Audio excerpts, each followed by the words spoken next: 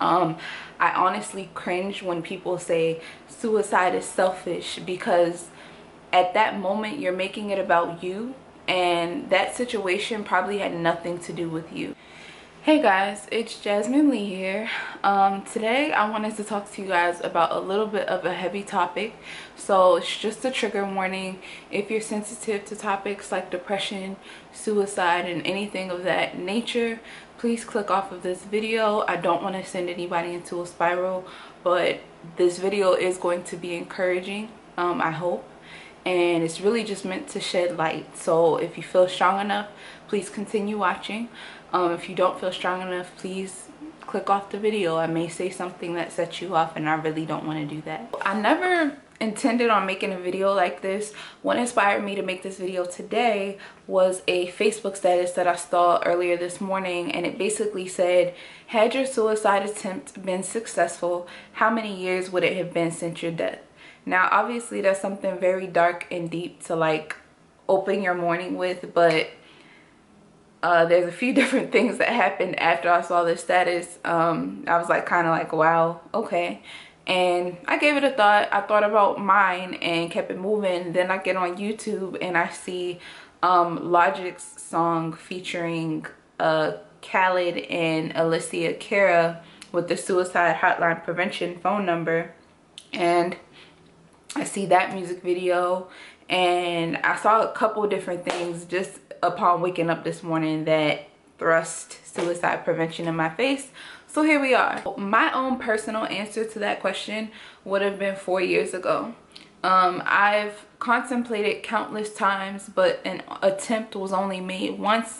I'm gonna get into that toward the end of the video but I do want to keep this on track in terms of being encouraging. If you're feeling hopeless and you're feeling depressed or you're feeling suicidal please make sure that you lean on somebody. It's hard to remind yourself in those dark spaces that people love you and that people care but people do love you and people do care. Your absence will be noticed and you will be missed even though it may not feel like it. Um, as humans and especially in america we take each other for granted and it's very easy to do because we just have so much going on around us that it's easy to just forget to tell somebody you love them or you appreciate them or you may not have liked them one day but you love them. That's something i think like the reason i'm i'm so good with the duality of human beings is because of my mother. Um oftentimes i would do things that like really irked her soul and she wanted to be done with me often but she always would say like I don't like you but I love you you know? And granted that hurt me growing up. It's not like you want to hear it at all but I think that because she would say it so often when she got angry. That's not and that's literally the only thing she knew how to say. Like I'm still seeing her being mad and saying that and it didn't make sense. But her being able to say that alone just helps so if there's any parents who are frustrated with their kid but can kind of sense that the kid is slipping away tell them you know like you may not like their actions. I would say i wouldn't say say you don't like them but say you don't like what they're doing but that you love who they are um, let them know that you see the core of them that you know their heart and that you understand them but you need them to like straighten up I would say if you're being bullied, um, try to stick up for yourself. I know it's scary and I know it's hard, but I've had maybe three instances that I can remember where I had to stand up for myself and um, two out of the three times I was afraid. So one instance was in well two instances were in middle school. So one instance was when i first moved here. There was a girl who didn't like me because her boyfriend did like me but i didn't even know the guy was her boyfriend. I was like brand spanking new to school. And of course i'm talking to him because he's just friendly and he was kind. He wasn't like pressing up or nothing we're still kids at this age. So it was just like it was seventh grade and i had just moved to baltimore. I didn't know anybody and he was cute and he was funny and he was just he was kind. He was so kind and so warm. And um his girlfriend found out i guess i don't really know something happened. She found out and decided she was gonna make my life a living hell and was teasing me and you know all kind of stuff. So one day we get off the bus and she wanted to fight and her and her friend actually and it sucked because it was like two against one and I knew I couldn't run home. That was just pride but um I basically I did fight her and the friend was also in it. It was just a fight you know what I mean? Like everyone threw punches. I got hit in my eye so I did have a black eye but I did like yank somebody's hair and I you know left a few scratches on people and uh, banged a few people up as well. I don't think I blacked eyes but I definitely had a black eye. Um but I fought. I was proud of myself for just trying to stand up for myself um because going home and running in that situation wouldn't have really done anything. They didn't really mess with me anymore but there's more to that story. Another instance that happened in middle school, this was eighth grade at a different middle school. No, I did not switch because I was bullied. I switched because we moved neighborhoods. But um, in eighth grade, there was a girl who would like hit me and she was always hitting me. Like every time she saw me, like there was times where she mind her business but it was too many times like it was enough to count on one hand for her hitting me and that was already one time too many. But back then i was a lot more afraid of confrontation so when she would hit me i would just eat it. It, it hurt it hurt like hell but it wasn't like a like i didn't need to cry. I grew up around boys and fought all the time you know what i mean? So that wasn't what it was about. It was just like why the fuck are you touching me when i'm not doing anything to you? So I did end up, um, we had a lot of classes together as well, so that didn't help. But I basically went out in the hallway with her and well, I asked her if she would come out in the hallway and talk to me because we had like a substitute that day. So I just felt like that was the best time to handle things. Um, so we went out in the hallway and I asked her like, why do you keep hitting me? I was like, I don't know how much more I can let that slide. So I need you to keep your hands to yourself. And I said that just like that. And she kind of like she was by herself at first. So by herself she was very she was one of those girls who's like kind of vulnerable and don't really rustle feathers until she get around her friends. And i don't respect people like that. Like keep that same energy whether you with your homies or alone and we could rock from there. But anyway her friends came out to the hallway had my temperament been different um and a lot more prideful i probably would have been in a fight that day too. But I basically let them know like this has nothing to do with you guys. And I was very polite. I'm a diplomat at heart. So I was just letting them know like this has nothing to do with you guys. This is between me and her and we're gonna handle it between me and her. You know what I mean? Like I didn't want to fight her. I just wanted her to stop putting her hands on me. So that's what I mean when I say you got to teach people how to treat you and you have to assert yourself. Like my mother grew up thinking, because a lot of times I wouldn't say nothing but my mother grew up thinking that I was a mousy kid and I wasn't. I just think my tolerance levels are higher for certain things. But I know now that putting your hands on anybody should not be tolerated as many times as I tolerated it. I've had guns held to my head as a play, like as a joke by um like my friends, my ex-friend's brother, like all kind of crazy stuff. So there's things that you shouldn't tolerate, but me i was just so calm and so like chill about everything. I regret being that way but anyways. Oh third incident. These actually were all in middle school. So the third incident also happened in seventh grade. This girl i was again brand new a little less new than when i got into the fight but um, i was still fairly new. And this girl i'm standing on the steps in the morning and I was just talking to my friends, minding my business. And this girl comes up to me and she's like, I don't like you. And I was not smart with her or nothing. I just said, okay. Cause it's like, what do people expect from you? When they say like they don't like you or they wish bad on you or whatever, like, okay, sis, good for you.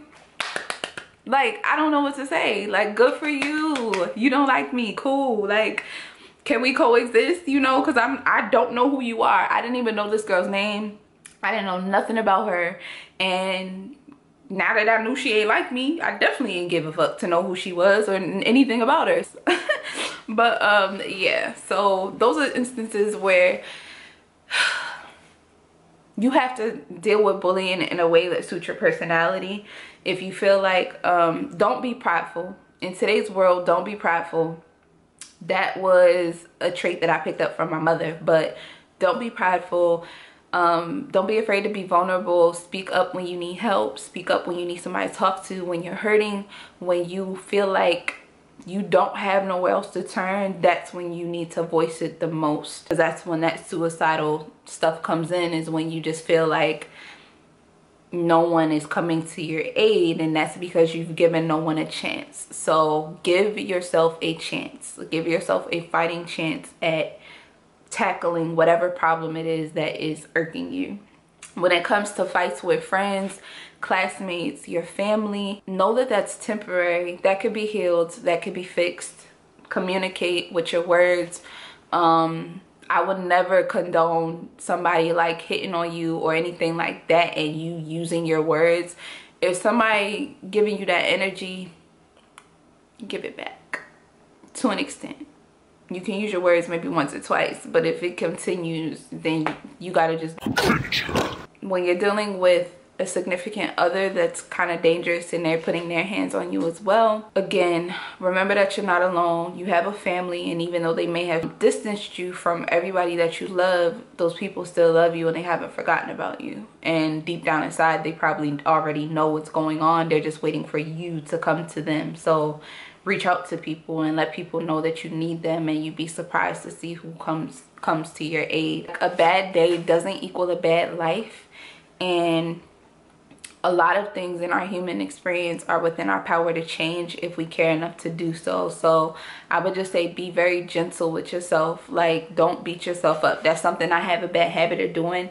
Is like when i make a mistake oh my god the world used to be over. Like it it filtered over into my work life my relationships my personal relation like friendships and stuff. Like one mistake and i would just implode. Like i remember um, telling my, my current boyfriend how in past relationships, if like we got into a disagreement or an argument, I would just basically feel like the relationship was over at that point because that's really how immature relationships are. Like they they can't withstand anything. So there was that. Keep going. Like no matter what, just keep going. When I was in my dark place four years ago, I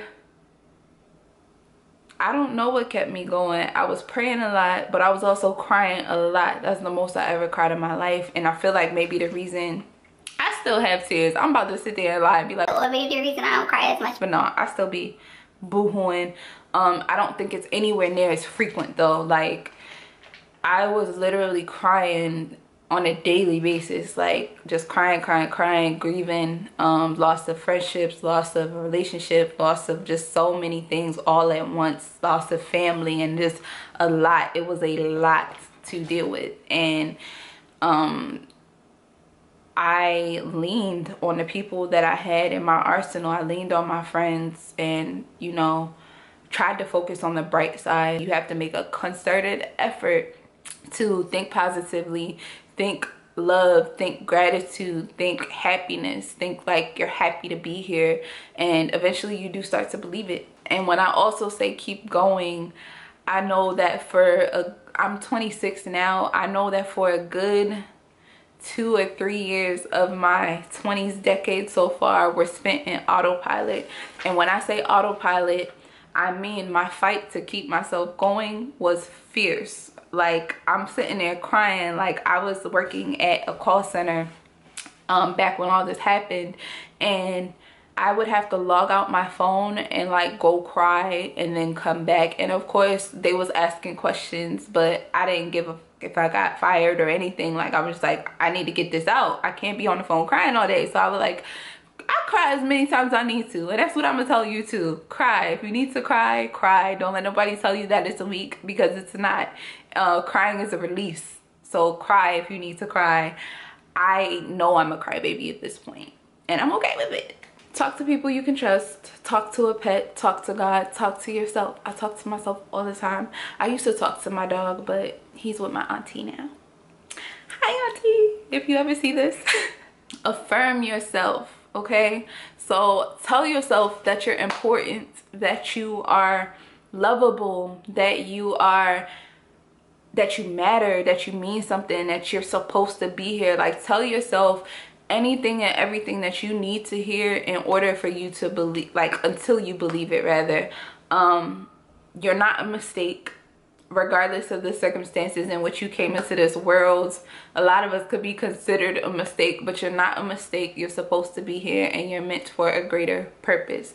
And if no one else is telling you that then i'm telling you that. Let me be the one. You're supposed to be here and i need you to discover your purpose because there are other people's blessings that are attached to your purpose. Stole that from sarah jakes parker or her uh I always want to say Parker, Sarah Jakes Roberts, or her husband Touré, but it's true. There are people whose whose blessings are um embedded into you or intertwined with yours. And so know that once you unlock your next level you're unlocking levels for a bunch of other people too. So keep fighting keep fighting.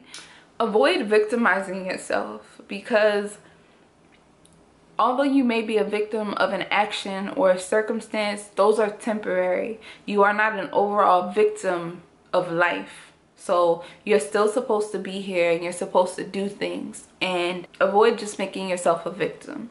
Now, in the essence of the word victim, and when it comes to things like abuse and rape and things of that nature, you're actually a victim, but it doesn't mean you have to carry on the identity of a victim through your whole life. You still have the power to change things moving forward. As long as you're alive and living out new days, that's a new opportunity to write a brand new chapter of your story. And it doesn't mean that those past ones weren't bad or that they were any more or less significant to your story. It's just that you have a new day to work with and you should work with what's right in front of you. Lastly, self-care make sure that you're feeding your soul. And when i say that i mean whatever makes you happy do it. If that means that you need to do a little grown and sexy things go do that. Do it safely but do that. Um, if that means that you want to take a nature walk if that means that you um, need to read a book if you have a happy place out in nature if you have a happy place in a bookstore mine actually closed down so i'm kind of sad about that. But um yeah just find find things that uh, wake your spirit up. Mine was uh, and this is another thing about depression it stifles your creativity and it hinders your ability to just like do the things that you used to enjoy. So like for me i have not sketched in a couple years. I haven't sketched anything really. And that thinking about how long I haven't sketched also depressed me. it was so awful. Just be gentle with yourself. So the goal of what I'm saying today is as far as these isolated incidents, um, know that situations change. Know that storms pass. Know that you know you you and someone may not get along today but you may get along tomorrow and that's okay. A bad day does not equal a bad life and this is something that i've had to tell myself so don't think i'm sitting here trying to preach to you. Um i honestly cringe when people say suicide is selfish because at that moment you're making it about you and that situation probably had nothing to do with you. If someone ever you know took themselves out they probably didn't feel strong enough. They probably didn't feel like things would end. They felt unseen. They felt unheard. They felt alone. They felt dark. Honestly if you've ever been in that space then you know you know how hard it is to like uh redefine your your perception and your scope on life. Everything feels like it's caving in on you and it's not gonna go away. But i'm here to tell you that it does go away there's going to be times where you just want to check out. However, don't. Hang in there. Know that you have the power to change these situations. A big part of suicide is that you feel powerless. And I want to just tell you to do your best to take your power back. Do your best to remind yourself that almost everything uh, that's within our human experience is in our control. Just don't do it don't go through with it just try your best to work through it talk to people talk to yourself honestly i talk to myself and i talk to god when i get like that because this place that I was in four years ago was darker than anything I ever, ever, ever been through and experienced. And something so silly was the breaking point for me. Like, it was weird. It was like we were fighting about like laundry or something to do with like household chores. And my little, my little, uh, fragile, already fragile mind just was like, get, you know what I mean? and I took a lot of pills. I probably took quadruple the recommended dose and the way I knew that I'm a lot of things have reinforced that I'm supposed to be here even though I don't exactly know why. But in this particular instance my grandmother came into my room and um, she randomly just started talking to me. I don't even I don't even remember what she was talking about to be honest. I remembered, um, and I'm sorry if I cry, but um, I remembered like feeling really, really out of it. And like getting drowsy because that's what this medicine does. It kind of puts you to sleep while it's fixing any issues that you're having. And um, she just came in my room and she started talking to me and it was maybe for two hours and um, the effects like slowly started to wear off. So she's probably in my room for more than two hours because I don't know. I don't know what it was. It was just like a fight in me to like stay awake and listen to her because honestly I had to. I didn't want to be like, oh grandma, I'm trying to go to sleep. You know what I mean? I didn't want to do it. Um, it was just the fact that I didn't feel, I didn't feel good in that moment. And I don't know what effect finding me like that in that state would have had on my family and I would have been really sorry you know and so even if like momentarily it feels like people hate you that's that's okay. But you have to love yourself in the times when no one else does. Like really love yourself hug yourself tell yourself you're beautiful tell yourself everything you need to hear until you start to believe it. Because the world is like cruel especially now. It's like we're getting more um desensitized to violence and cruelty and unkindness and just silly crap so just remind yourself that everything is gonna be okay and remember that the reason that the suicide prevention icon if you will is a semicolon is because the semicolon is a change of direction or a continuation on a thought so keep in mind, don't put a period where there should be a semicolon, okay? Keep going. Please keep going.